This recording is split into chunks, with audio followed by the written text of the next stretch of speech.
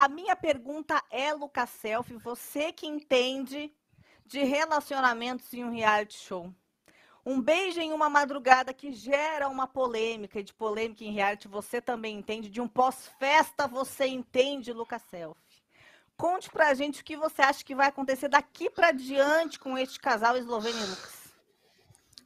Olha, eu, eu queria dar uma opinião um pouco imparcial do certo rancinho que eu tenho um pouco, mas eu, eu, eu tô sentindo um pouco de falta da. Como é que é o nome daquele negócio? É, química, sabe? Não tô sentindo que tem ali.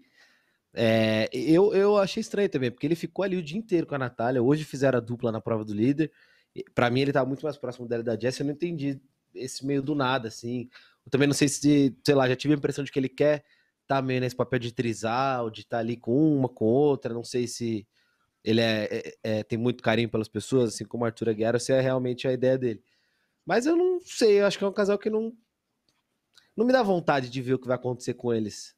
Acho que eu tenho mais vontade de ver, sei é, lá, se vai rolar alguma coisa com a Natália e tal. Achei meio sem, sem química, assim. Faltou. É um... o carisma de uma caneca, né? É. Tipo, não... tipo Jade e, e PA acho legal de acompanhar as brincadeirinhas e tal, não sei o que. Agora os dois achei meio. Sei, pode ser que me surpreenda, começar a brigar, quebrar umas coisas, um xingar o outro, ter ciúme, aquelas crises legais que a gente gosta de ver. Mas por enquanto Sim. acho tão. Xoxo. Capenga nele. Tá é. Eu também achei, assim, é, é muito, tá muito sem graça esse casal. E sabe qual é a questão?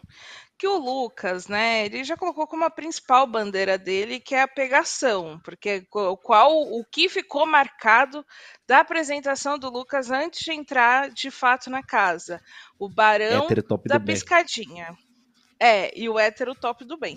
Ele tá conseguindo mostrar que ele é um hétero top do bem e tá conseguindo mostrar que é o barão da piscadinha, né? Porque quem que tá aí com mulher é, brigando, disputando por ele?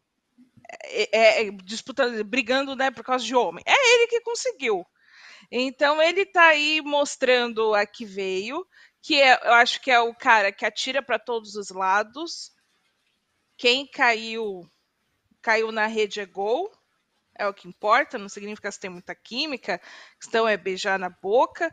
E aí tem um outro ponto, né, dos dois, é que a, a Eslovênia falando assim dele e falando, ah, é porque a gente se identifica porque faz medicina. E aí, e aí, mas porque a Laís fazia medicina e aí tinha esse papo.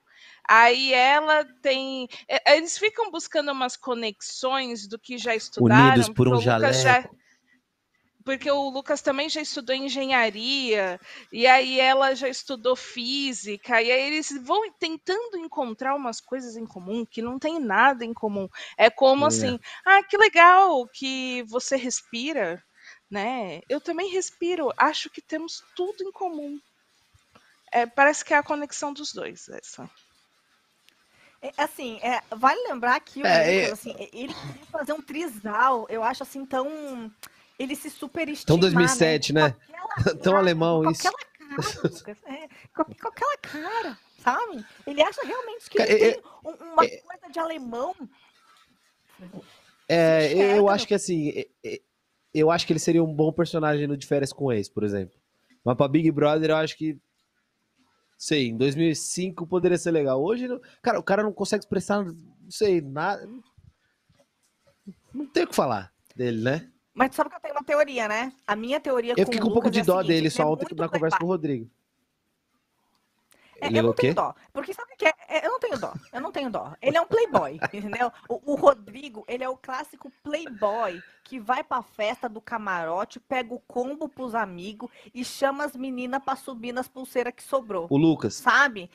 O Lucas, isso, o Lucas. Então ele puxa essas meninas tudo ali, então ele não é acostumado a ter que conversar com uma mulher, ele não é acostumado a ter que ter o um approach, a chegar, a ter que dar aquela conversadinha. Tanto que fica muito claro que ele não sabe conversar. A pessoa não tem assim, ó, um, um, um argumento, não tem uma capacidade de formular é. frases de conversa. Então eu sinto uma falta. É que o som da balada que ele vai deve ser muito alto, né?